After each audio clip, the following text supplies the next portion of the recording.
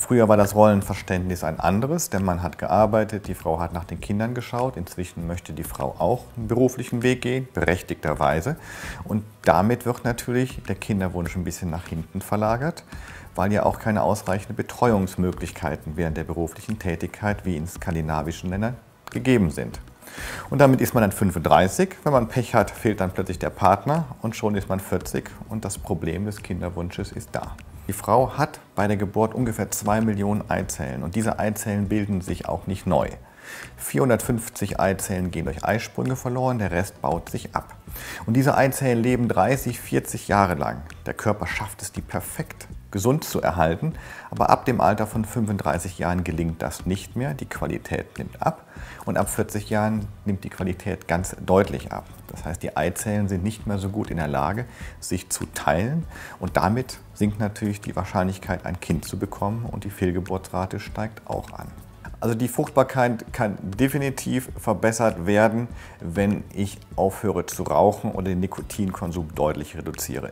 Auch hohe Alkoholmengen sind schädlich, das ist auch bekannt und Drogen, Cannabis ist auch schädlich, das wissen wir. Wer fünfmal am Tag, das ist bekannt, Obst, Gemüse etc. isst, genug Sport die Woche treibt, lebt eigentlich gesund genug. Das Problem ist aber, dass nicht jeder so gesund lebt und damit natürlich auch tatsächlich ein Mangel von bestimmten Substanzen eintreten kann. Und da ist ein typisches Beispiel die Folsäure. Wenn ein Folsäuremangel vorliegt, dann habe ich natürlich erhöhte Risiken, dass das Kind zum Beispiel eine Spaltbildung der Wirbelsäule bekommt. Und Folsäuremangel soll auch die Fruchtbarkeit reduzieren. Das ist ein Beispiel dafür, dass ein Nährstoffmangel auch Nachteile haben kann. Ich kann das ausgleichen, indem ich sehr gesund lebe. Blattsalat enthält viel Folsäure oder ich nehme einfach eine Folsäure-Tablette. Ein exzessiver Stress führt dazu, dass kein Eisprung stattfindet, die Periode ausbleibt. Dann reduziert es natürlich die Fruchtbarkeit. Wer aber Stress hat und noch eine regelmäßige Periode hat, der wird sicherlich durch den Stress nicht eine reduzierte Fruchtbarkeit haben. Es wird häufig gesagt, dass die Fruchtbarkeit beim Mann abnimmt. Große, gute Studien sagen aber, dass dem wahrscheinlich nicht so ist. Die Fruchtbarkeit der Männer nimmt vermutlich nicht ab. Es ist vielmehr so, dass auch die Männer älter werden bei der bei dem Kinderwunsch. Und ein Mann, der ungefähr 45 bis 50 Jahre alt ist, hat nur noch halb so viel Spermien, halb so viel gute Spermien wie ein Mann mit 20 Jahren. Und ich denke, das ist der Hauptgrund. Diese ganzen anderen Dinge, die immer in Diskussion sind, Saunabesuche, enge Hosen etc., die spielen vermutlich keine Rolle. Das Einzige, was eine große Rolle spielt, sind sicherlich Anabolika, sprich Testosteron für das Fitnessstudio.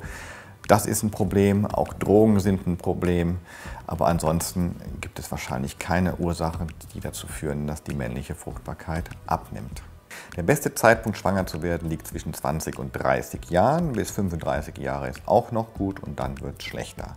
Der Zeitpunkt im Verlauf des Menstruationszyklus, der beste Zeitpunkt dort, ist ein Tag vor dem Eisprung. Das heißt, bei einem 28-tägigen Zyklus am Tag 13, weil am Tag 14 ja der Eisprung stattfindet. Und dann hat man idealerweise Verkehr am Tag 11 und 13.